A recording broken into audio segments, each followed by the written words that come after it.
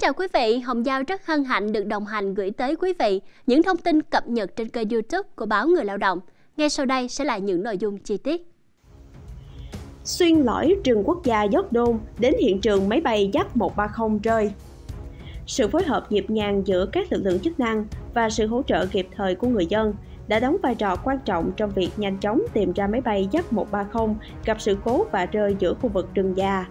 một trong những yếu tố then chốt giúp việc tìm kiếm diễn ra thuận lợi là sự huy động lực lượng đa dạng từ quân đội, công an đến các đội cứu hộ chuyên nghiệp, kết hợp với sự hỗ trợ của người dân địa phương, những người am hiểu địa hình và có khả năng điều hướng trong môi trường rừng núi hiểm trở. Sau hai ngày nỗ lực tìm kiếm không mệt mỏi, vào chiều ngày 8 tháng 11, quân chủng phòng không không quân phối hợp cùng các lực lượng chức năng đã chính thức phát hiện vị trí máy bay Yak 130 gặp nạn rơi tại khu vực vườn quốc gia Dốc Đôn thuộc huyện Buôn Đôn, tỉnh Đắk Lắk. Đây là một nỗ lực đáng ghi nhận khi công tác tìm kiếm gặp phải không ít khó khăn do địa hình rừng núi phức tạp, dày đặc và hiểm trở. Ngay sau khi máy bay gặp sự cố, các lực lượng cứu hộ đã triển khai ngay lập tức với sự hỗ trợ của máy bay trực thăng, thiết bị dò tìm hiện đại và đội ngũ cứu hộ địa phương am hiểu địa hình – Tuy nhiên, việc tìm kiếm giữa rừng già trong điều kiện thời tiết không thuận lợi đã khiến công tác cứu nạn trở nên vô cùng thử thách. Trong suốt 48 giờ tìm kiếm, các lực lượng chức năng đã không ngừng mở rộng phạm vi tìm kiếm, sử dụng mọi phương tiện để khoanh vùng khu vực nghi ngờ. Sự phối hợp chặt chẽ giữa các đơn vị quân đội, công an, lực lượng cứu hộ và sự hỗ trợ từ người dân địa phương đã mang lại kết quả quan trọng. Nhờ vào những thông tin phản hồi từ cộng đồng, các đội tìm kiếm đã nhanh chóng xác định được vị trí của chiếc máy bay. Máy bay Yak 130 được phát hiện ở một khu vực sâu trong rừng, gần biên giới của vườn quốc gia Jordan, nơi có địa hình dốc và nhiều cây cối che khuất tầm nhìn. Đại tá Niata, chỉ huy trưởng Bộ Chỉ huy quân sự tỉnh Đắk Lắk, cho biết sau khi nhận được điện từ trực ban tác chiến của quân chủng phòng không không quân và sự chỉ đạo của Bộ Tư lệnh Quân khu 5, lực lượng vũ trang tỉnh Đắk Lắk lập tức triển khai phương tiện tham gia tìm kiếm. Theo đó, ở hướng huyện Buôn Đôn, Đại tá Nguyễn Duy Tráng, Phó Chỉ huy trưởng Bộ Chỉ huy quân sự tỉnh Đắk Lắk trực tiếp chỉ huy lực lượng vũ trang làm nhiệm vụ tìm kiếm máy bay. Tại hướng Ea Súp, Thượng tá Hoàng Công Sự, Chỉ huy trưởng Ban Chỉ huy quân sự huyện Ea Súp, trực tiếp chỉ huy lực lượng làm nhiệm vụ. Các đơn vị cũng phối hợp lập sở chỉ huy lâm thời, huy động gần 50 ô tô, gần 300 xe máy, nhiều máy flycam và phương tiện chuyên dụng phục vụ công tác tìm kiếm máy bay Yak 130 rơi. Bên cạnh đó, các đơn vị lực lượng chức năng, chính quyền địa phương cũng phát động quần chúng nhân dân cung cấp thông tin liên quan, hỗ trợ dẫn đường làm nhiệm vụ trên các hướng thuộc địa bàn xã Kromna, huyện Buôn Đôn và các xã Ea Bung, Cư Ca Bang, Cư Melang, huyện Ea Súp.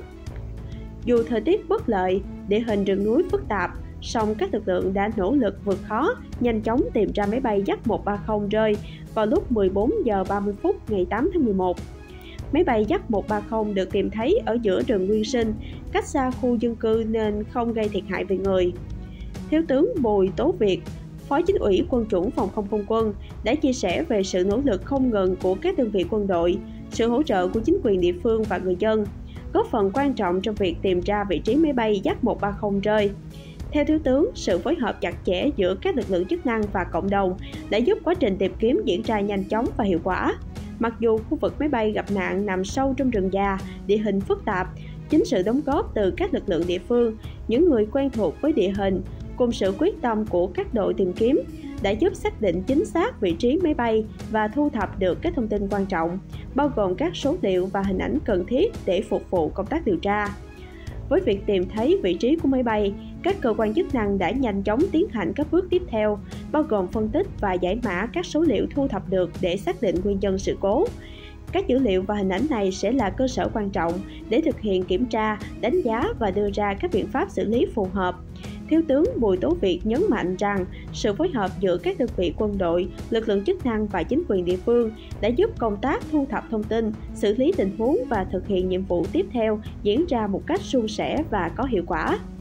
Hiện tại các lực lượng chức năng vẫn đang tiếp tục bảo vệ hiện trường nơi máy bay Yak 130 rơi, đồng thời triển khai các phương án để đảm bảo an toàn và tiến hành công tác khám nghiệm hiện trường. Sau khi hoàn tất khám nghiệm, thì lực lượng chức năng sẽ bàn bạc phương án đưa máy bay ra ngoài khu vực đường sâu để phục vụ công tác điều tra và xử lý tiếp theo. Một trong những bước quan trọng trong quá trình điều tra là việc tìm thấy hộp đen của máy bay. Hộp đen đã được bảo vệ nghiêm ngặt và hiện đang được chuyển đến các cơ quan chuyên môn để tiến hành phân tích dữ liệu.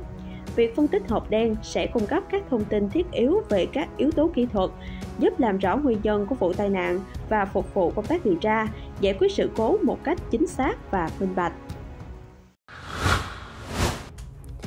Tìm thấy hộp đen máy bay IAK-130 rơi, bảo vệ hiện trường nghiêm ngặt. Tối 8 tháng 11, một nguồn tin từ Bộ Chỉ huy Quân sự tỉnh Đắk Lắk cho biết, ba lực lượng gồm quân đội, bộ đội biên phòng và dân quân tự vệ đã tăng cường thiết lập các vòng, chốt chặn để bảo vệ hiện trường máy bay IAK-130 rơi. Cũng theo nguồn tin trên, các bên đang bàn bạc tìm phương án đưa máy bay IAK-130 ra ngoài rừng sau khi kết thúc quá trình khám nghiệm hiện trường. Dự kiến trong ngày 9 hoặc 10 tháng 11 sẽ có phương án đưa máy bay ra bên ngoài. Nguồn tin này cũng cho biết, sau tìm thấy hộp đen, lực lượng chức năng đang bảo vệ nghiêm ngặt để phục vụ việc phân tích dữ liệu. Như người lao động online đã phản ánh, chiều ngày 8 tháng 11, lực lượng chức năng đã tìm thấy máy bay quân sự IAK-130 gặp sự cố và rơi tại tiểu khu 428 thuộc vườn quốc gia Jordan, địa phận xã Kromna, huyện Buôn Đôn, tỉnh Đắk Lắk.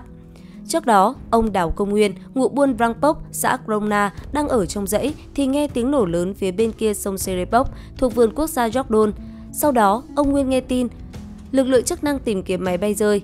Nghi ngờ tiếng nổ có thể là do máy bay rơi nên ông đến trình báo. Máy bay rơi tại tiểu khu 428 của vườn quốc gia Jordan, đây là khu vực rừng nguyên sinh,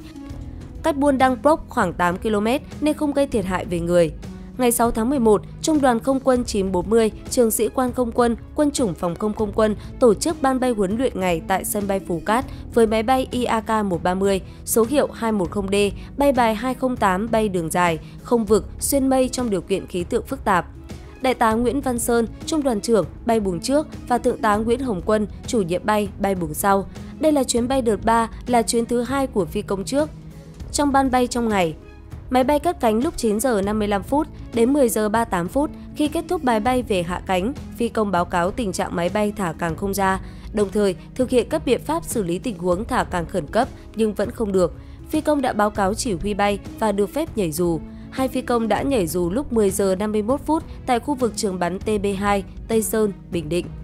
Sáng ngày 7 tháng 11, Trung tướng Phạm Trường Sơn, Phó Tổng Tham mưu trưởng Quân đội Nhân dân Việt Nam và ông Phạm Anh Tuấn, Chủ tịch Ủy ban Nhân dân tỉnh Bình Định đã đến Bệnh viện Quân y 13, thành phố Quy Nhơn, tỉnh Bình Định để thăm Đại tá Nguyễn Văn Sơn, Trung đoàn trưởng Trung đoàn Không quân 940 và Thượng tá Nguyễn Hồng Quân, chủ nhiệm bay Trung đoàn Không quân 940. Đây là hai phi công thoát nạn trong vụ máy bay quân sự IAK-130 của Trung đoàn Không quân 940 rơi khi đang bay huấn luyện vào ngày 6 tháng 11.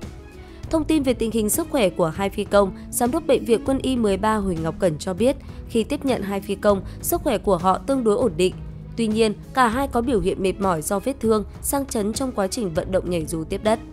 Sau đó, bệnh viện nhanh chóng thực hiện các kỹ thuật về y khoa, kiểm tra toàn diện về sức khỏe cho hai phi công. Bệnh viện sau đó triển khai điều trị tích cực để hồi phục sức khỏe cho hai phi công. Theo hình ảnh ghi lại từ đài chỉ huy K5 thuộc sân bay Phú Cát, thời điểm chiếc máy bay IAK-130 gặp sự cố kỹ thuật vào trưa 6 tháng 11 cho thấy càng hạ cánh bên phải của chiếc máy bay này không thả, trong khi càng mũi và càng bên trái đã ở vị trí khóa. Trong suốt gần 1 giờ đồng hồ, Đại tá Nguyễn Văn Sơn và Thượng tá Nguyễn Hồng Quân đã nỗ lực tìm mọi cách đưa chiếc máy bay IAK-130 số hiệu 2101 về hạ cánh để gìn giữ khối tài sản lớn của quốc gia. Tuy nhiên, tất cả các phương án đều đã được thực hiện nhiều lần mà càng đáp vẫn không thả. Trong khi đó, lượng dầu trên máy bay ngày càng cạn dần. Với phương châm không để xảy ra bất cứ thiệt hại nào trên mặt đất, sự an toàn tính mạng và tài sản cho người dân, hai phi công đã cố gắng điều khiển chiếc IAK-130 gặp sự cố kỹ thuật ra khu vực trường bắn quốc gia TB2, nơi không có dân cư sinh sống, sau đó mới giật dù thoát hiểm. Thượng tá Nguyễn Hồng Quân chia sẻ, đối với cuộc đời phi công, không ai muốn nhảy dù bởi muốn cứu máy bay, đảm bảo tài sản quốc gia. Tuy nhiên, sau gần một giờ thực hiện nhiều giải pháp nhưng cảng vẫn không thả, trong khi đó lượng dầu sắp hết nên phi công buộc phải điều khiển máy bay ra vị trí tránh khu vực đông dân cư có thể gây thảm họa cho người dân và nhảy dù. Những thông tin vừa rồi đã khép lại chương trình của chúng tôi. Cảm ơn quý vị và các bạn đã quan tâm theo dõi. Và đừng quên chúng tôi luôn cập nhật rất nhiều thông tin tất cả các khung giờ trong ngày. Xin kính chào tạm biệt và hẹn gặp lại.